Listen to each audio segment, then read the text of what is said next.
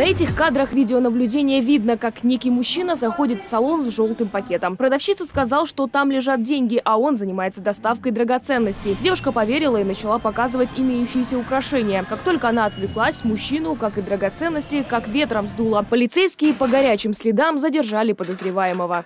Изучив записи камер видеонаблюдения, оперативники установили личность подозреваемого и задержали его в городе Москве.